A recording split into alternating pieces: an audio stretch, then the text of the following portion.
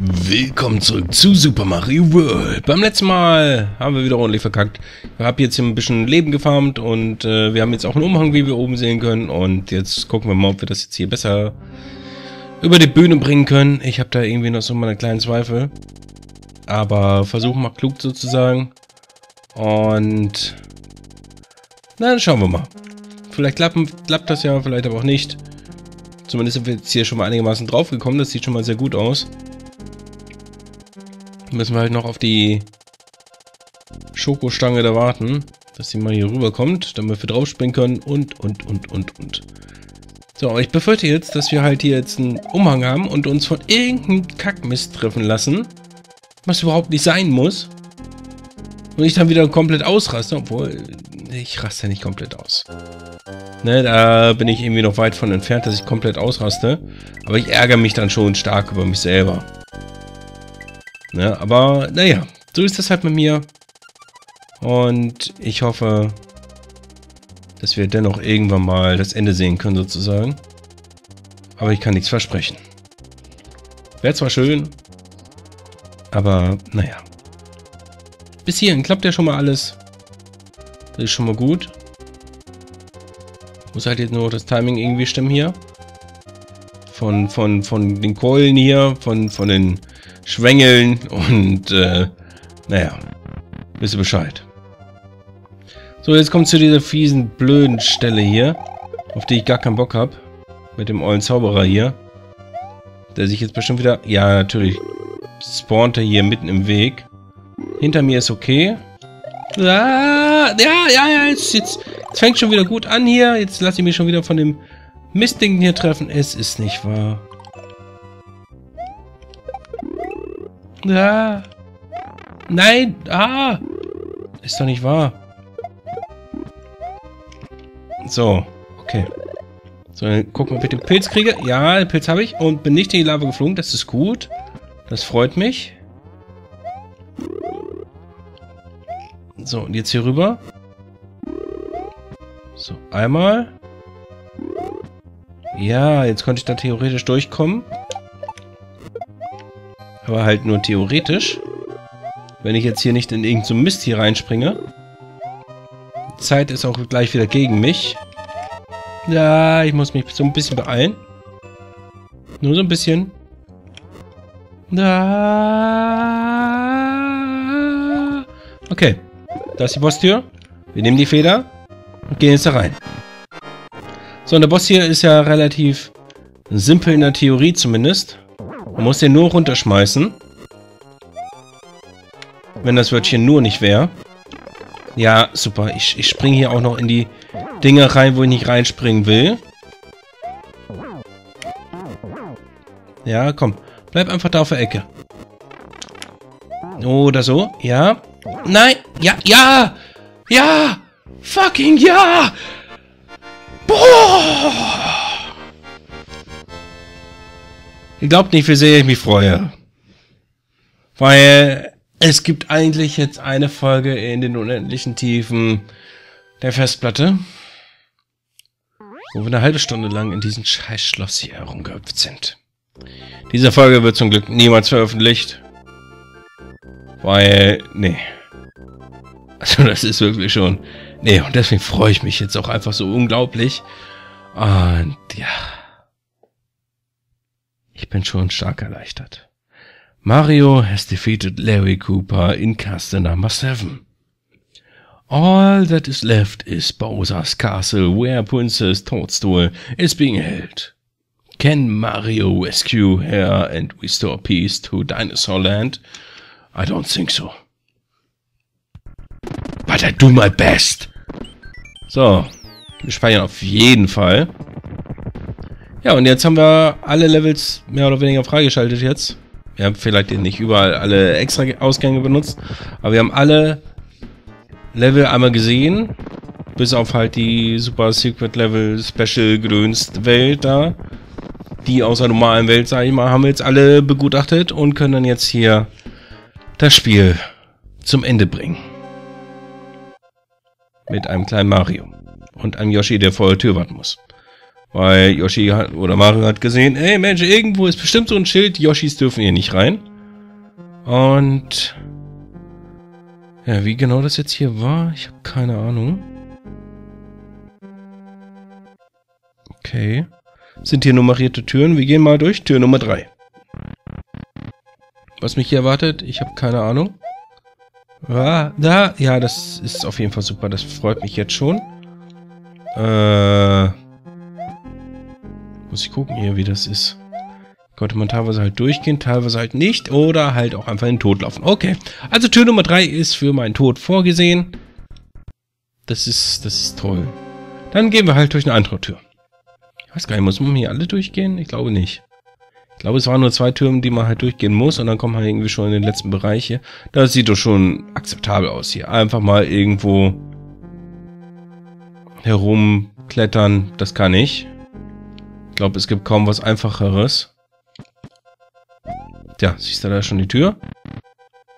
Das war ja wow. Dann gehen wir durch Tür Nummer 5, weil das hier gerade mal so rumsteht. Oh, das war, glaube ich, keine gute Idee. Ja, okay.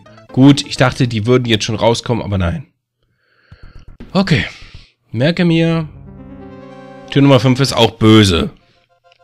Böse! Sie ist böse! Okay. Ab durch Tür Nummer 2. Klettern wir nochmal so ein bisschen durch die Gegend. Dum, dum, dum. Du, du, du, du, du. Und in einem Mario-Spiel, ich weiß gar nicht mehr welches, aber auch halt von, von den 2D-Dingern, da ist Bowser's Castle einfach so ultra schwer. Und dieses hier habe ich so überhaupt nicht schwer in Erinnerung. Oh nein, unter Wasser. Oh nein, mit verschiebbaren Gedönsdingens. Ja, das ist ja toll. Ich habe voll die falsche Tür gewählt. Da. Ein Pilz, der meinen Namen trägt.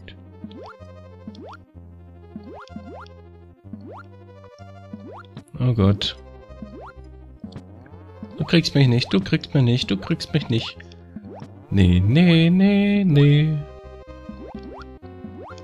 Hoch hier, hoch hier, hoch hier. Ah! Jede Menge Schwengel. Oh mein Gott. Ich weiß gar nicht, wohin damit. Na, also halt so herumschwingende Dinger da. Nenne ich jetzt Schwengel. Seit kurzem. Nein, das muss nicht weiter kommentiert werden. Das ist halt einfach so. Och, ist das ein scheiß Timing? Wenn ich jetzt da bleibe, dann ist, dann, dann bin ich Ende Gelände. Und trifft mir entweder hier die Maulsteinkugel oder halt dann eine der beiden Spitzen hier. Deswegen, das ist schon nicht ohne. Ich meine, da oben ist zwar schon die Röhre zum Durchgehen. Muss ich, glaube ich, so machen, ne? Ja, gut, hätte ich mich ducken müssen. Okay. Gut, dann machen wir es halt so.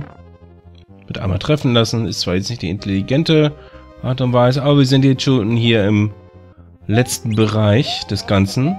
Mit der ollen Disco-Kugel. Geh weg. Uah kommt hier dieser Mecha Cooper hier an. Diese komischen schwarzen möchtigen Springfledermäuse hier, die... Ich weiß auch nicht.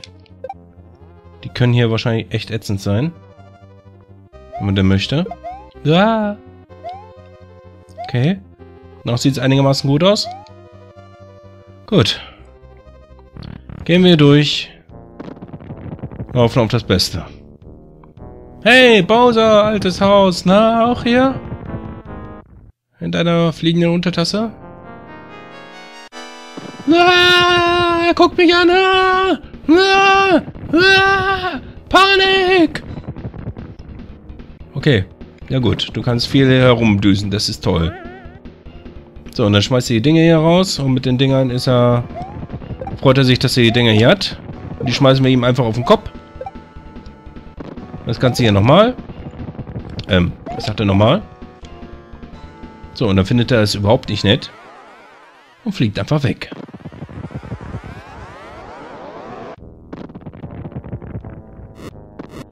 Yeah, und dann kommen diese tollen Flammen hier und das ist eigentlich auch relativ simpel. Wir müssen einfach nur an einer Stelle hier stehen bleiben, weil hier kommen einfach keine von den Dingern. Oh, der Pilz. Der kommt mir sehr gelegen. Ja. So, was macht er jetzt? Jetzt hat er doch irgendwie eine andere Phase, ne? Ah, ich glaube, ich weiß, was kommt.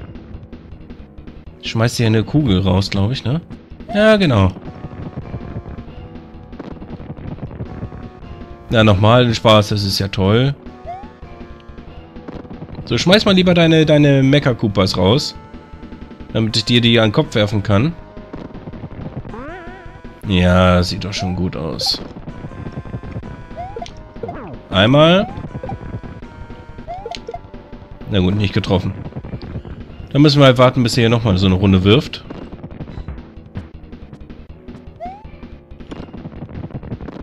Und natürlich den Kanonenkugeln immer ausweichen.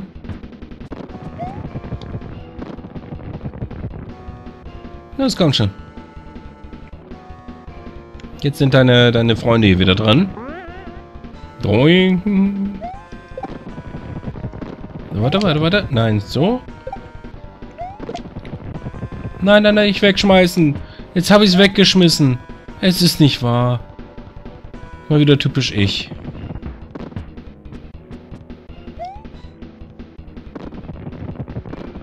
Zum Glück gibt es jetzt kein Zeitlimit mehr, sodass wir hier ganz in Ruhe alles machen können. Uns nicht stressen lassen müssen. Der größte Stressfaktor sind hier wir selber. So, jetzt haben wir ihn aber getroffen. Fliegt er jetzt wieder weg? Er fliegt wieder weg, okay.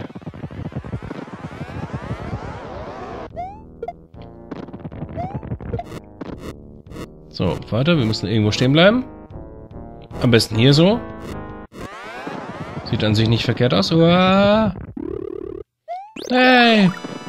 Prinzessin Toadstool hier. Hier. Oh. Oh.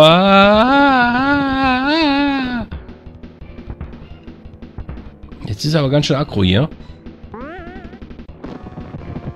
Aber das kriegen wir hin. Vielleicht. Oh, da, da, da, da. Da, da, da, da, da.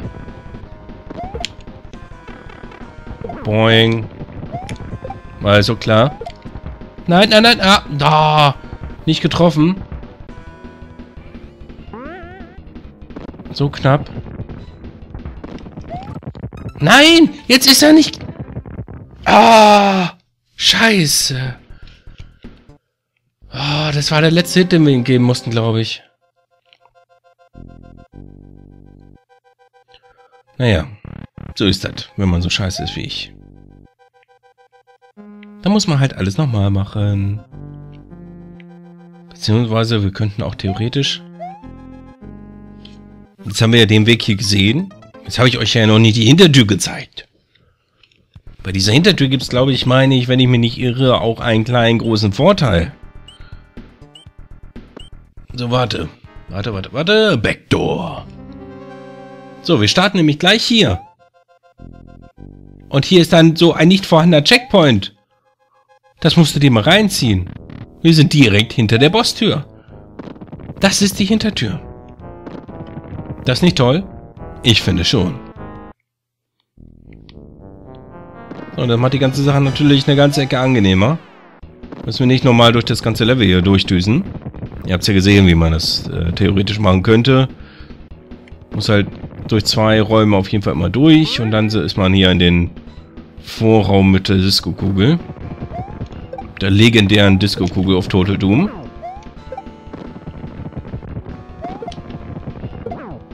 So. Das war die erste Portion.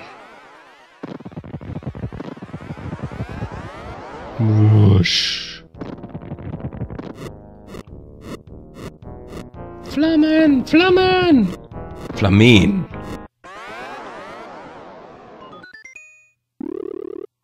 Mein Pilz. So, jetzt macht er wieder seine Kanonenkugel-Action hier. Jetzt wollen wir versuchen, dabei ihn jetzt hier auch ordentlich zu treffen. Ob das klappt, ist so eine andere Geschichte. Kanonenkugel Nummer 1.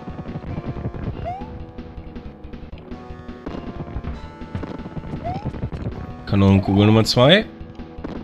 So, jetzt wirft er gleich die Dinger wieder raus. Sag ich doch. Ja, spring dagegen. Ja, spring unten drunter. Oder so. Ja, ja, lauf da einfach gegen. Mal gut, dass wir eine Hintertür haben. Boah, bin ich scheiße.